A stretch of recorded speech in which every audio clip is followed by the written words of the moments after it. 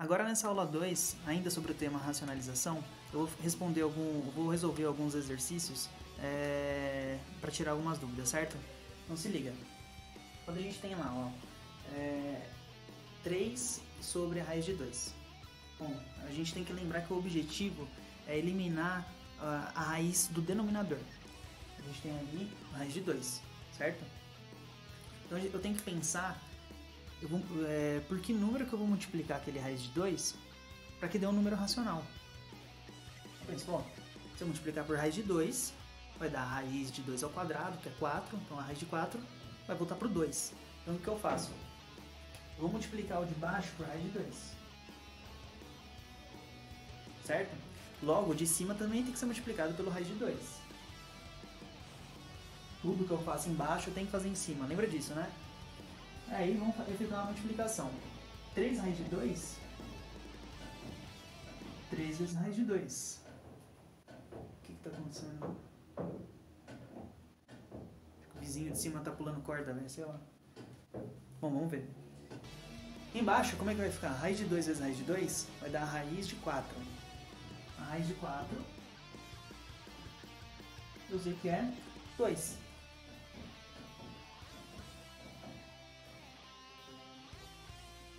Então essa daqui é a forma racionalizada de 3 sobre raiz de 2. Beleza. Agora vamos dar uma olhada nisso aqui. Ó. A gente tem raiz de 7 e raiz de 5. A gente tem a raiz é, no numerador e no denominador. Mas o que eu vou fazer? Tenho sempre que lembrar que o que importa é o denominador. Então se eu multiplicar isso daqui por raiz de 7 sobre raiz de 7, é, o que, que, vai acontecer? Eu vou estar eliminando a raiz de cima, que vai dar a raiz de 49 sobre a raiz de 35. E isso é 7 sobre a raiz de 35. Adiantou alguma coisa? Adiantou nada. Então isso não tem nada a ver.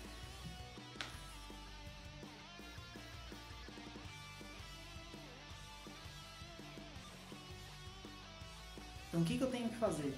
Eu vou multiplicar por raiz de 5 sobre raiz de 5.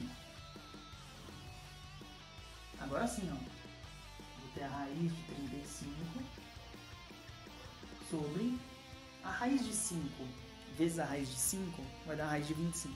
E a raiz de 25 é o próprio 5, não é? Ah, professor, mas eu já posso ir direto aqui? Eu não preciso escrever a raiz de 25? Não. Se você sabe o que você está fazendo, você já pode pular esse passo, tá? Chegou aqui, não tem mais nada para fazer, já era, tá? Vou pegar um outro exemplo aqui, ó.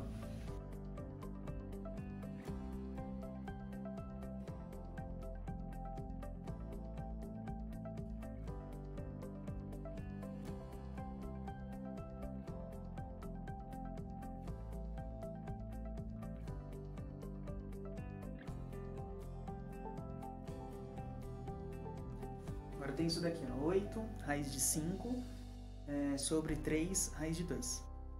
Pensa. Vou ter que multiplicar de um jeito para cancelar a raiz, certo? O cara que está dentro da raiz aqui, ó, é o 2.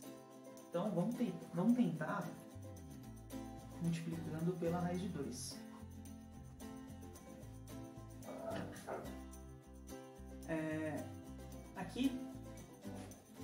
Fora da raiz, então ele multiplicaria o 1 que está aqui que não aparece, então vai dar 8. A raiz de 5 vezes a raiz de 2, a raiz de 10. Embaixo, o 3 vai multiplicar o 3. E a raiz de 2 vezes a raiz de 2 daria a raiz de 4. A raiz de 4 é 2. Efetuando essa multiplicação aqui, teríamos 8 raiz de 10 sobre 6. Beleza, a gente chegou num resultado razoável, já está racionalizado, só que ele não está simplificado. Não dá pra gente dividir em cima e embaixo por 2 aqui, ó, o 8 e o 6. Dividiu por 2, 4 de 10 sobre 3. Então, toda vez que você racionalizar, você tem que deixar escrito a fração na, mais, na forma mais é, simples possível. Então, você vai ter que simplificar também. Beleza?